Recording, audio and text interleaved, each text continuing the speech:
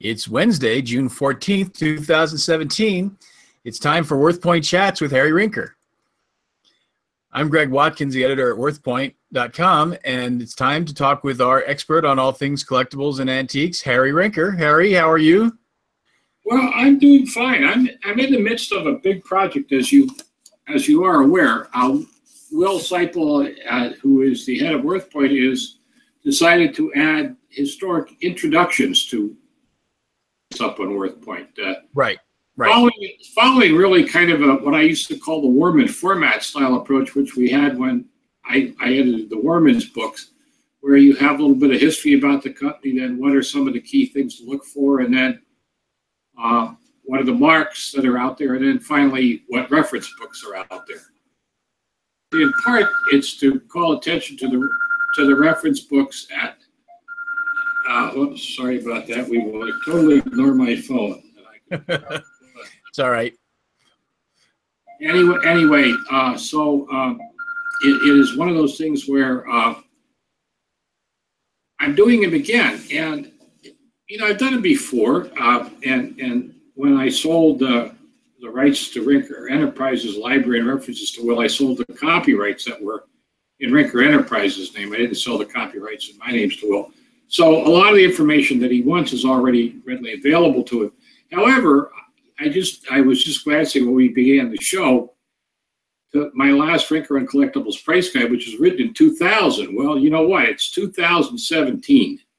Yeah, yeah. And and, and the fun thing for me is that you know we, we went to a lot of trouble to keep the histories of companies updated and so forth, but a lot has happened in 17 the years is a long time including the glass industry right now you know, there were all these kind of, you know, Ohio.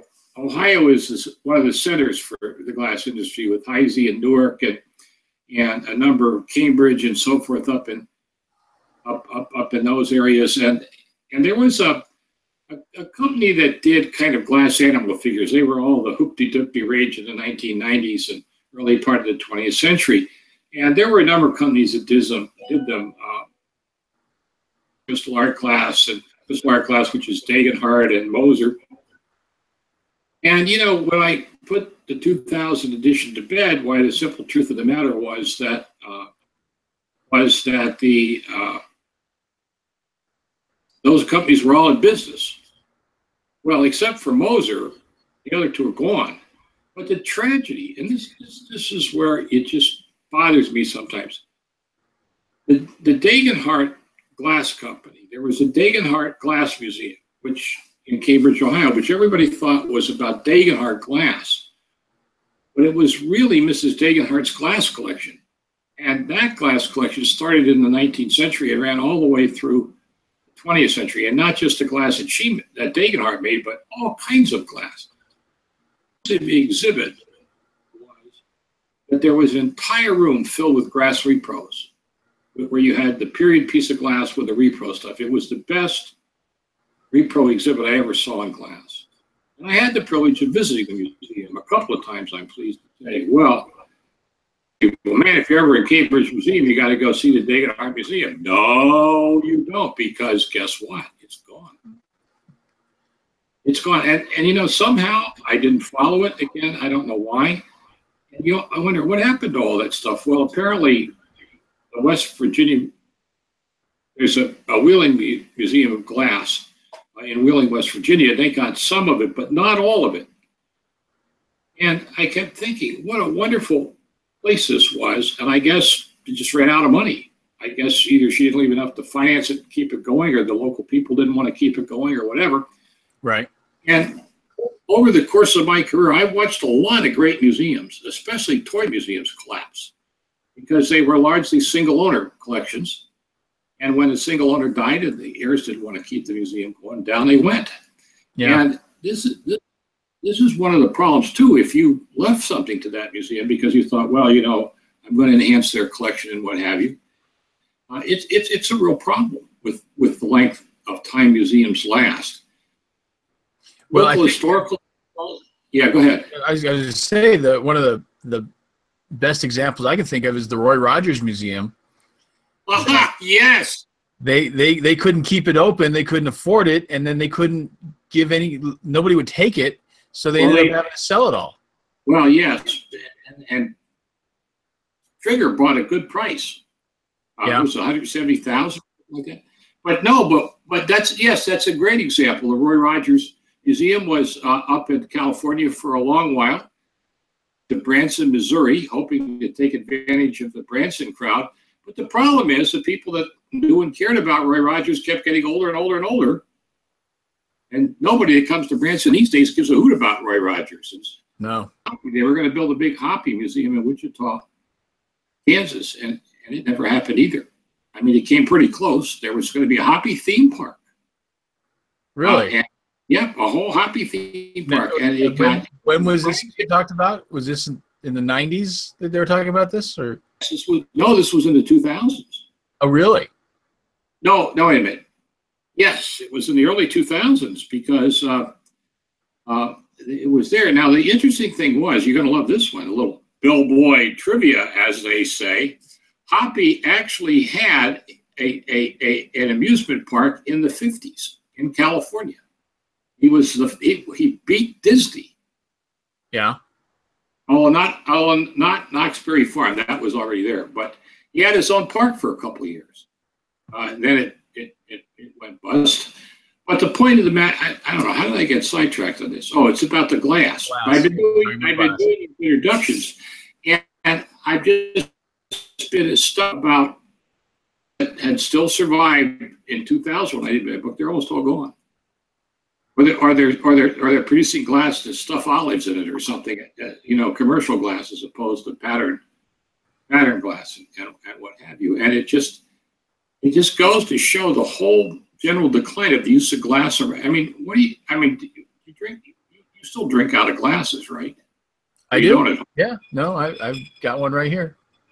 Yeah, there you go. But now, you, but you, but look at ordinary piece of schlock glass. It's a round cube with a bottom, right? No pattern yeah. Well, to this, it. this, No, this no, oval shape, but yeah, Made it. it's nothing. It's nothing uh, collectible. That's for sure. Walmart or Kmart class. Um, eBay. eBay glass, even eBay cheaper glass. yet. Yes, right. Well, so it, it, it was quite a phenomenon. But anyway, now, did we talk last week about my new project? About uh, I'm, I want to get people to send in uh, comments about what do they own that their grandchildren don't want. Did I tell you That's about right. that? Yes. Yes, we did talk about that. Well, I'm going to talk about it again because I didn't get any responses this week. Uh, no, look, for all the people that are watching this video, you, you all know I do a weekly column called Rinker on Collectibles. You can read it on my website, harryrinker.com. You can read it on worthpoint.com too, because you post it up on, on your site as well. But I wanted, I, I really want to do a column about what grandkids don't want. Now, it, you say, make a list, Harry. I mean, I, I, I made a list and, and, either, but I want to do the top 10. And, you know, and, and okay, let's admit it. I already got one letter about grandma's China. Right. Okay. But I'd like to know what other people are finding out out there. What, what do they have that the grand, that the grandchildren or the children don't want? And I, and, and I'll tell you why I'm asking this, because I'm not necessarily looking for things that, that came from the grandparents or whatever. I'm looking for the things that parents acquired. The parents are now in their 60s and 70s. And their kids say, I don't care whether I grew up with that or not. I don't want it. Okay. Right. And uh, I know there's a lot of, I mean, look, look what happened to Fiesta Ware. Well, you remember when Fiesta was hotter than heck. Oh yeah. Oh yeah.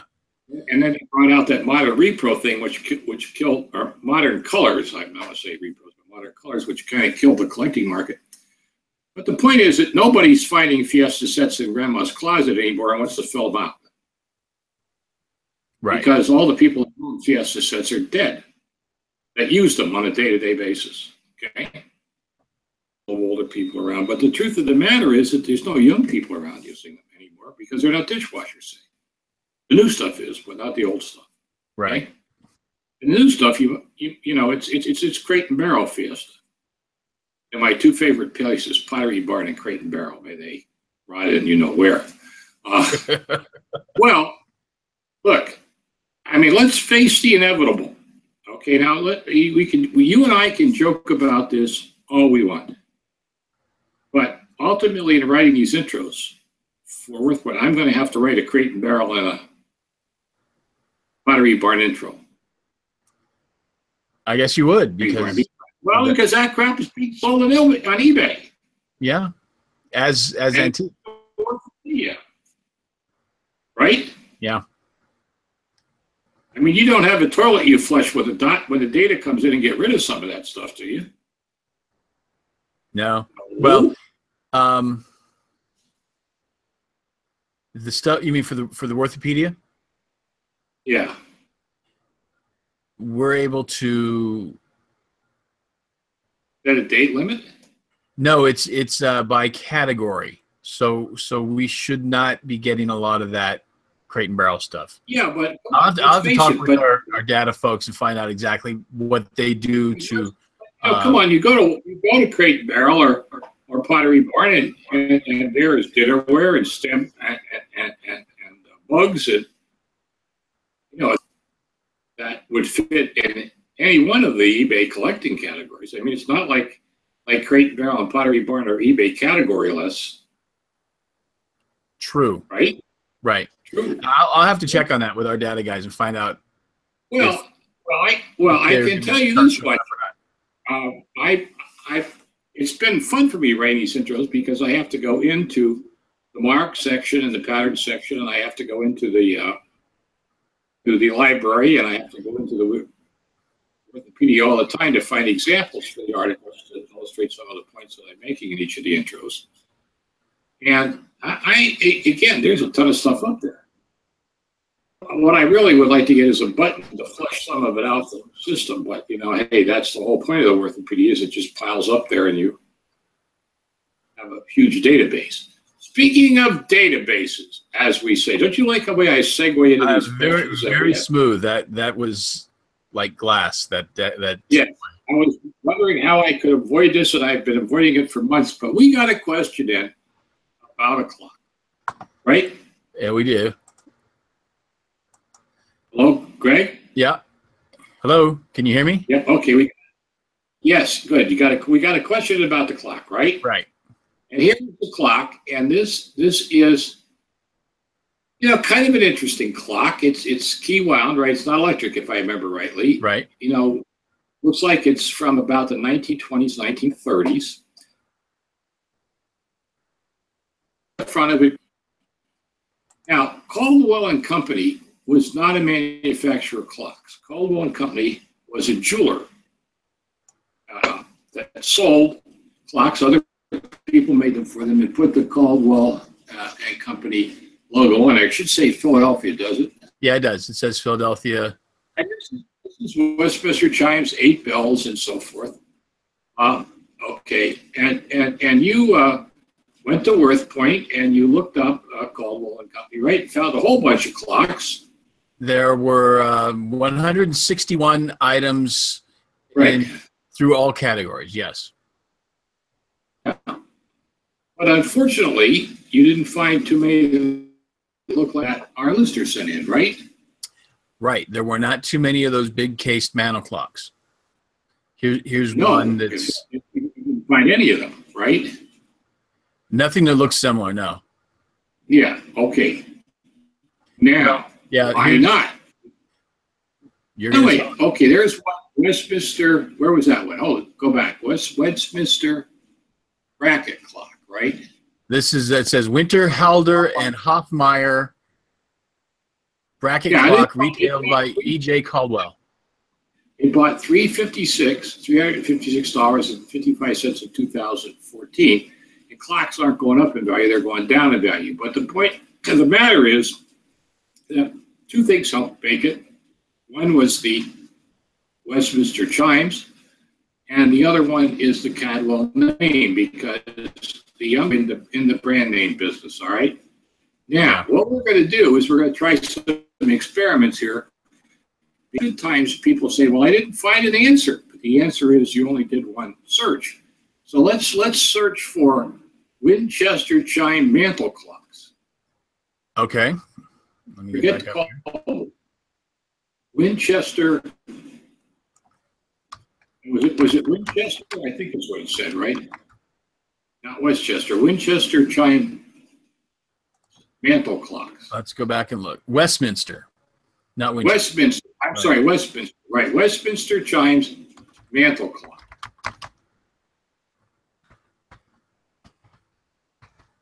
That pulls up.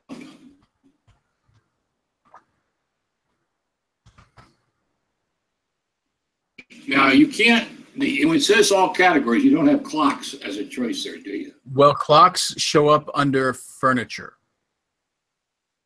Oh, okay, so you can limit it to furniture and see if we can eliminate some of this stuff. Well, all right, we're not right, doing very so well that with knocked that out one. about a thousand. Uh, so we've got 8,600 hits under Westminster Chimes mantle clock Bracket, bracket. because none of those look like what we're looking for. All right, now that dropped it to 676. But now they're starting to look more like what we're looking for, right? They- yes, you're, you're right. They are. Notice, notice, notice they have like there and what have you. Just keep going there. One with a fairly sophisticated set of chimes, chimes on it. So keep going down there. Don't don't give up on us here. No, we're not hitting any. We're not looking at, at any with all those silent chimes and the, see that panel No. clock looks almost like the top of a tall case because that, that's the kind of sophisticated thing you find in the big tall cases. All right, so I changed it Right. from most recent to best match. Oh, yes. Okay, so We're doing a little better there. There's, uh, well, let's go back up there. There's one. Let's go back up one row there. this one here. There's one, the third one in mantle, bracket clock, Westminster chimes. What did that sell for? $122. But look at this. There's your it. It works. What do I care about that? well, it's it's plastic and battery operated. It's not even real clockwork in there. Oh, I see what you're saying. All right, well, forget that. And the other one has, is, is a wild one. It looked like it was. Well, all right, but fooling around. So how do we come up with a price? Well, this is a case where you really want to talk about it in two or three ways. In theory, the clock's worth 500 bucks. Okay, in theory. But that's, that's a, you know, dealer price who doesn't really want to sell it price in reality, oh, there's one. What did that one bring? There's got This a couple of tries. Two hundred and three dollars and fifty cents. Yes, yes. Uh, my my feeling is that he was looking at 275 to 300, maybe a little bit more, maybe three and a quarter, but not a lot more than that. Why? Because first of all, it's a beautiful clock, and I am not taking anything away from the fact that it's a beautiful clock. All right, let's let's be clear about that. The second thing is that it it's it's market driven. Now we're going to assume it works, by the way. Right. It's market driven. And what do we mean by market driven? Well, you're not going to sell sell that. What what do they, what, what do they say about uh, oh, in, in Illinois, Peoria, right? Right. Yeah, Well, well, they, It might sell in Peoria They can't- once. they can't sell it in Peoria, but they can sell it in New York City. They can sell it in St. Louis. They could sell it maybe in Los Angeles, but they certainly can sell it in Dallas, Dallas and Fort Worth and Houston, Texas, because it's decorator driven. Okay, and in those markets, it's a five hundred dollar clock. Could be even even more than that, five six hundred if it's working uh, uh, well. But in the countryside, it's a two hundred dollar clock. I mean, this is this is a clock that needs to go into an urban, large metropolitan market, and one where there's a strong sense of history and tradition. And and, and a bunch of old farts that go to country clubs. No, okay, enough of that. uh, there you go, right? Right. Now, watch this next segue. Speaking of Texas, are you ready for this? Sure. I used to. Oh, oh no! You want me to do this first? Okay. Well, well but that was such a good segue too. Anyway, it was. Yes, we can. We'd like, we'd like people. We'd like people to submit objects to us. That would be nice. That is send information about your object, size, markings, history, what history is, and some good JPEG photographs to community at worthpoint.com. That's community at worthpoint.com. Also, if you have a subject you'd like to uh, talk to me about, uh, that you'd like me to pontificate on, or whatever it is you'd like me to do to it, uh, we'd love to have you uh, drop us a note there as well. Now, making this segment about Texas. My course, you attended my courses. I always, what's my favorite phrase? If you can't sell it anywhere else in America, send it to Texas. Right. Because they got more money than more money than sense. Try to stop disparaging Texas because I found a place even worse. Oh, okay. Send it to Los Angeles, particularly Beverly Hills. Really? Those people have so much money and so little taste that you could sell them anything. and and so how pray tell may you ask do I know that was this? what I was gonna ask. What what made you decide that the Los Angeles yeah. king of schlock? The answer is Heritage Auctions had a sale in Los Angeles. Okay. Of quote contemporary modern and contemporary art. Okay. And what do you think they sold? Sneakers. I, I, I want to say vein, paintings no, of no, I tell you, they sold sneakers, Greg. They did what? Now, you know, I wonder if we have to develop an, an, an odometer, an odorometer for sneaker sales, where you put it in the shoe and get a whiff, and how that will impact value. Well, see, I know that sneakers are collectibles. They, there's a, a huge well, amount of people who collect sneakers. I've kept my mouth shut about these damn crappy Hermes handbags, which I think are just asinine for the price people are paying for. Okay, seriously. I've said, all right, if people want to pay hundreds of thousands of dollars for a stupid handbag, those movie stars and all those other idiots have the money, let them spend it. Okay? But I draw the yeah. line at sneakers. Now, and I can tell you sneakers are collectible because when we did the exhibit, West Michigan Collects, remember that exhibit at the Grand Rapids Art Museum? There was an entire case filled with sneakers. sneakers That's right. I remember there was. Right. As object of art. Well, in Beverly Hills, now I got to say one thing. Heritage had enough good sense, A, not to hold this auction in Dallas Fort Worth where they're based, B, not to hold this auction in New York, where people are incredibly stupid too in terms of what they spend their money on, South or in the Midwest. But they were smart enough to hold it in Beverly Hills. And so, are you ready for this? The movie Back to the Future popularized Nike Air Mag self lacing sneakers. Right. And Back to the Future 2 right, which exist. Well, in 1916, Nike did so. 16. Now, now do the math. That's like one year ago, right? Right. Record for a pair of sneakers less than one year old was 32,500.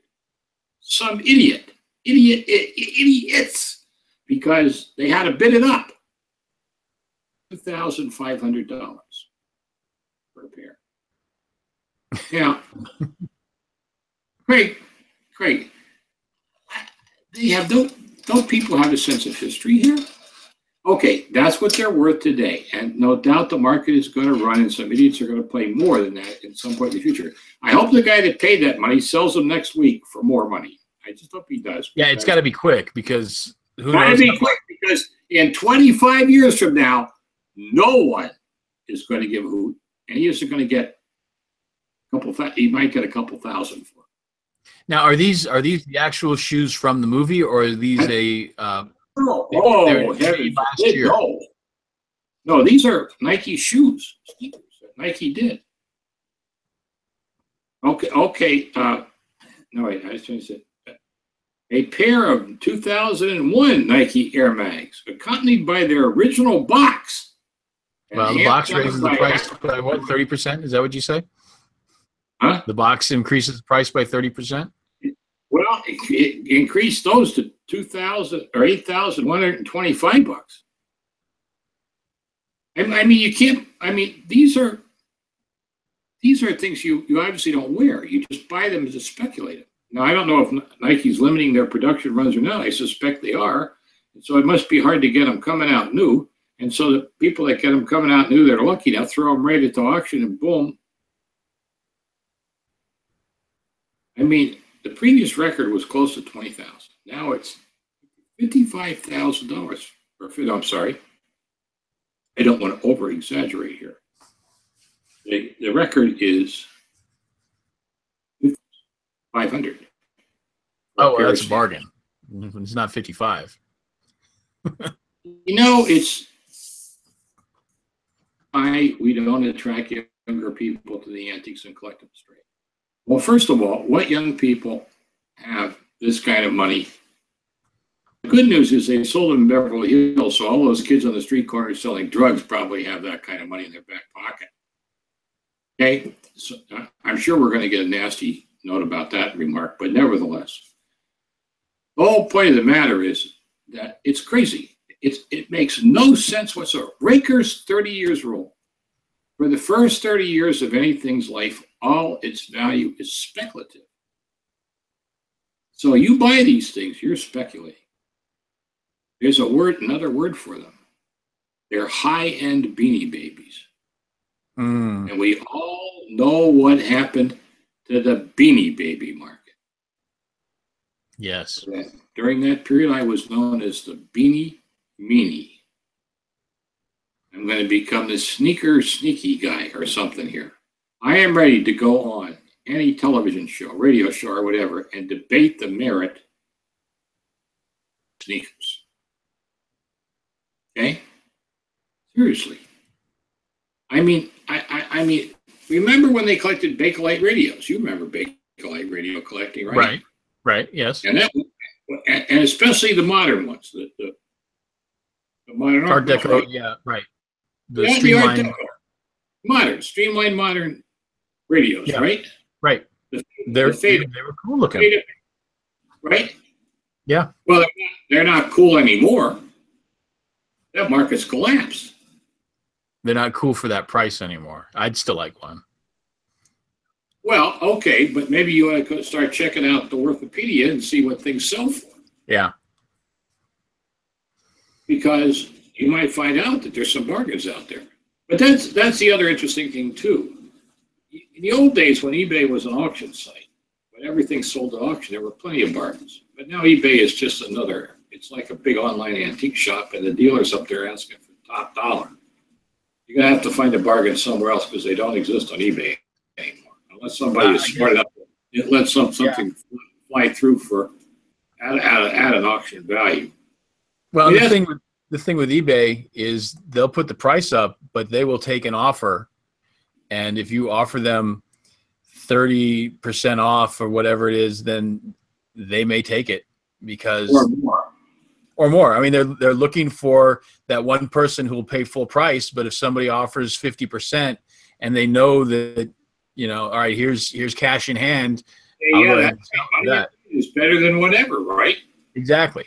So why not price it high? Hope that somebody takes a flyer on it, but know that if you'll take whatever offer is offered. I found I found that that all the times I did that, and, and again, the only price I care about is what I'm willing to pay. I simply email and say, look, this is what I'm willing to pay. I don't want to negotiate. If you don't want it, that's fine with me. Leave it up. Only once did the person not take my offer. Now, how many times? Other than How many times you try this? other than that, it, it happened all the time. Yeah. I mean, you know, people love bargains. I mean, that's what drove the antiques and collectibles trade for years. People were out bargain hunting. And the truth of the matter is that the way prices have fallen from their high, high point in the end of the 20th century and early part of the 21st century, the antiques and collectibles field is loaded with bargains. The problem is that, that we're not getting that information out. All we're getting out is information about $53,000 sneakers. Yeah. Well, and at the same time, is it And a this- bargain to get a, a set of uh, carnival glass at a great price if you don't want it? Well, that's the whole, that's the whole problem.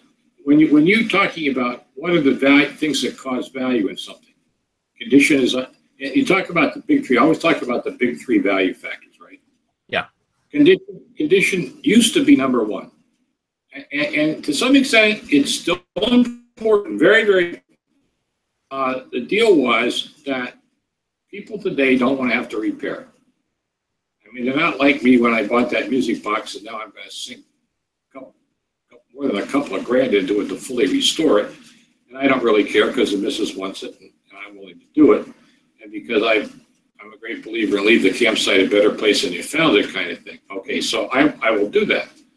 But people want everything what we call room wet ready. They want to go out to an antique mall, buy it, and put it right into place and not have to do anything to it, really.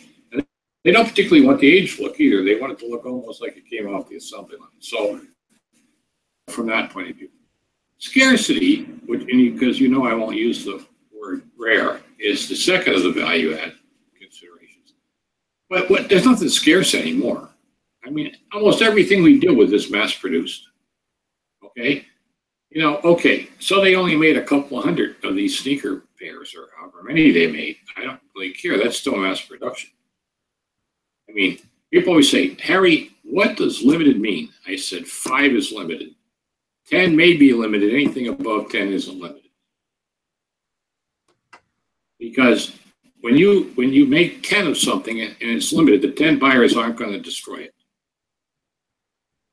And value in the antiques and collectibles trade, if there's to be scarcity, relies on people destroying more than gets saved. And when everything gets saved and nothing gets destroyed, that's a whole other matter. Which brings me around to the third thing, and that today is the number one value added factor in the antiques and collectibles. That is, nobody wants one, even though it may be 100 years old in near mint condition, it has no value because there's no buyers. And if you don't have a buyer, you don't have value. That's what you were talking about, right?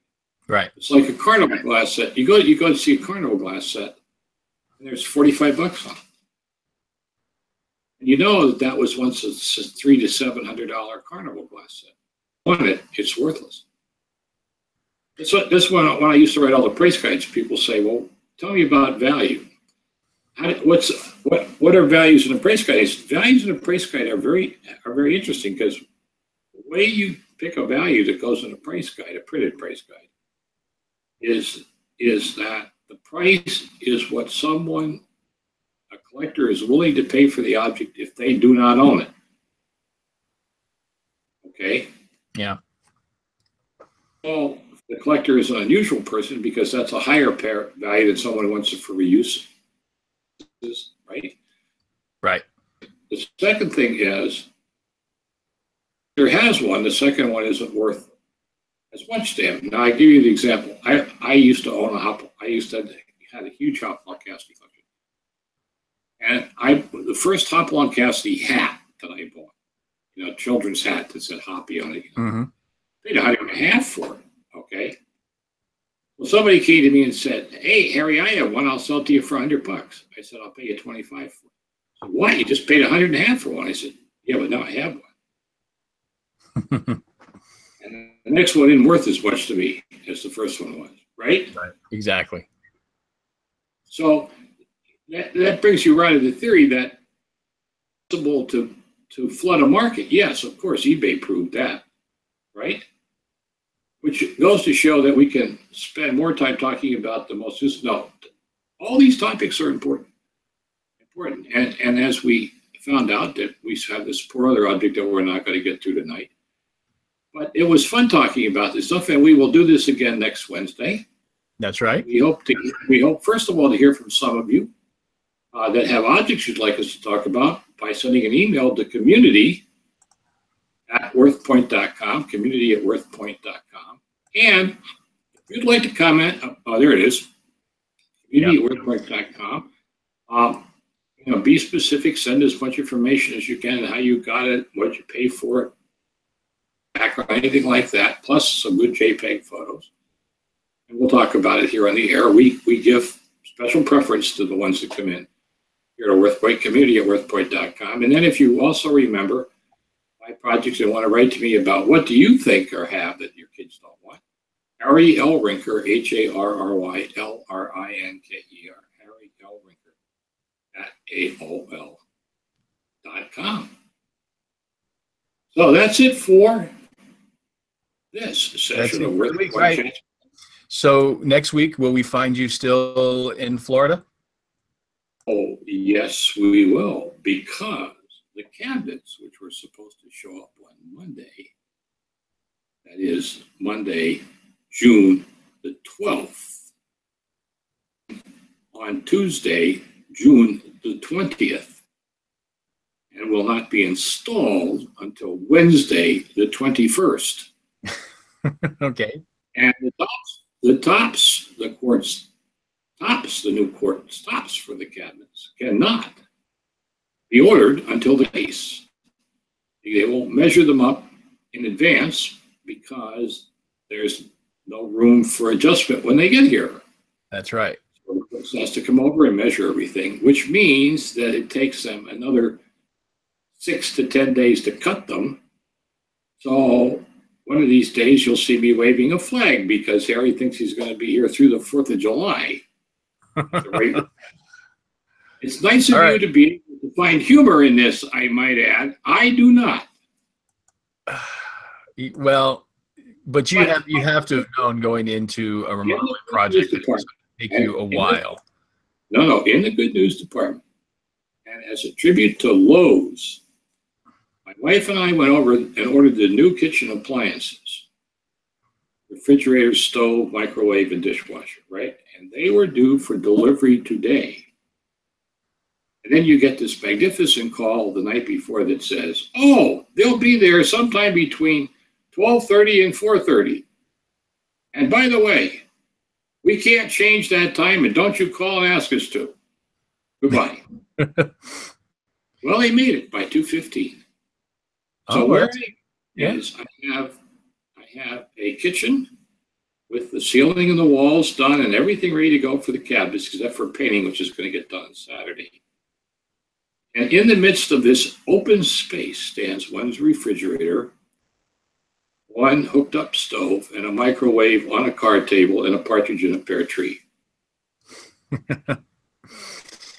I tell. All right. Well, we'll we'll look forward to the update next week. Uh, next week I should look a little healthier by because I'll be eating better now that I can go out and have a nice meal at night, bring the other half home, and eat it the next day by cooking it up in the microwave. Of course, of course, there is a problem. All the dishes are packed away, and the only running water I have is in a is in a sink in the bathroom, the guest bathroom. Yeah. Well, So, that makes it a little uh, difficult. And paper plates are tough to microwave. Also, You know what? I I was surprised. I thought I could find microwavable paper plates or microwavable some kind of plates, and I haven't. even- Yeah. I don't know. Okay. I don't know either, except that I should be eating better and maybe being in a better mood. You won't be grumpy about about tennis shoes collecting sneakers. You're just always going to be Well, against that. I got news for you. I luxury handbags. I'm not going to start collecting sneakers either. Actually, I got to tell you, the best thing in Florida is I took my shoes off and I have a pair of sandals, and I've been in sandals for two weeks. Excellent. You know, I All got rid of my I got, I got rid of my suits and jackets, pretty much. So when I called it quits, but I'm looking forward to the day I can get rid of my sh- my socks and my shoes. and just, you know, and revert back to the early ways of mankind. Right. Well, if you're going to be wearing those sandals, get rid of the socks. Yes. Well, actually, that's what my wife says too, because she hates it when I wear socks with some of my sandals. But what can we say? All right, sir. Enough of all of that. All right, Harry. We'll see you next time.